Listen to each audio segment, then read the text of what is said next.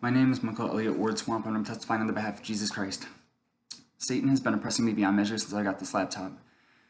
When I first got it, God convicted me about two years ago now to get this laptop to just reveal everything that I've gone through with Him in the last 10 years to the world. And if it's not a dream, vision, or revelation, that the experience of, experiences I've gone through with Him will at least give people faith.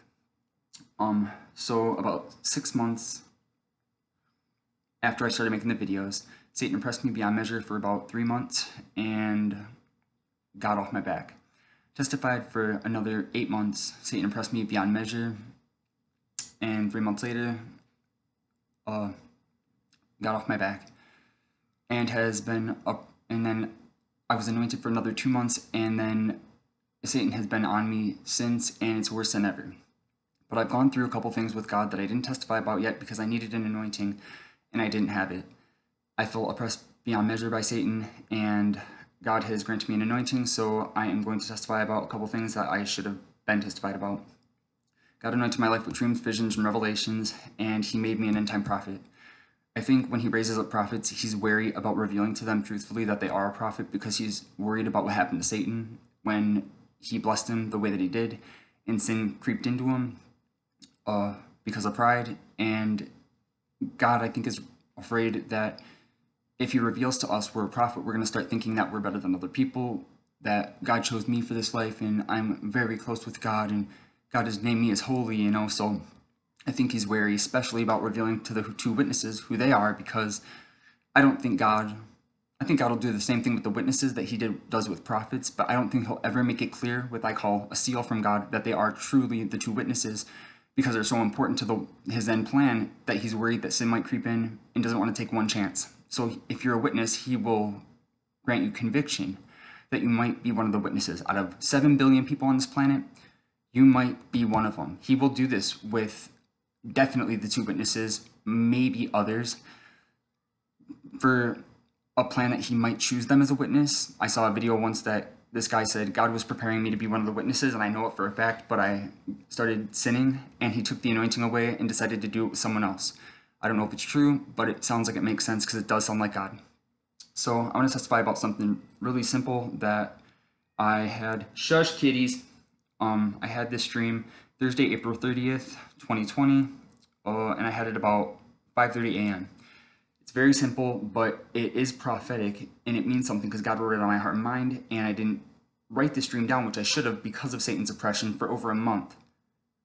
Um, after like I, I I had it written on my heart and mind like I asked God to in the name of Jesus for about a month before I wrote it down. But it is a simple dream and it is prophetic. These dreams mean something. He has anointed me and trusted me to convey the dreams more so than to uh to receive the revelation in which of what they mean. But um, it could be personal because it's about me. But he, I know he gives me prophetic dreams because he's given me personal prophecies and other prophecies that retain to personal experiences and groups of people in my life. But this is the dream. I had a dream.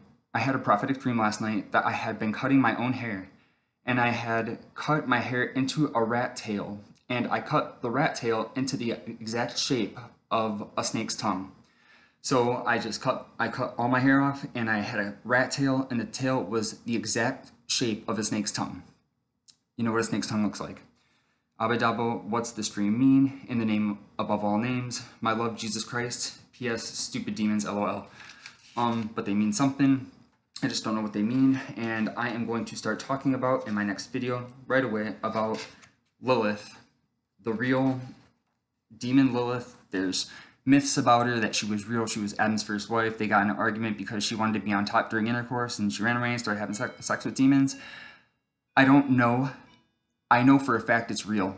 With God's conviction and seal 100%, Lilith is a real being who was anointed in the past. I don't know the history to it. I've been asking Jesus the past six months about it, but it's real. Um, and she is a real demon who has come to me many times and the first time I just thought about her for a long period of time right after I heard that story when I was 22, 23. But I started asking God about six months ago about her instantly. He starts sending her directly to me to teach me things about her so I know she's real. Ask God about these things. Ask God to reveal to you the truth about the people who come testifying in the name of Jesus, because if we are not, we are false prophets. We are confused. We think we're prophets and we're not. God will reveal it to you in perfect faith in Jesus' name. So be careful for you who you trust. You should, but don't shy away from every single person that says, "I come in the name of Jesus Christ and He made me a prophet," because there are going to be many false prophets in this time, but not all of them will be. Pray to God for the truth about these things. Repent. It's vital to being a Christian. Everything in the Bible is real. You go out of way to, you go out of your way to get to know God. God will go out of His way to prove how much He loves you.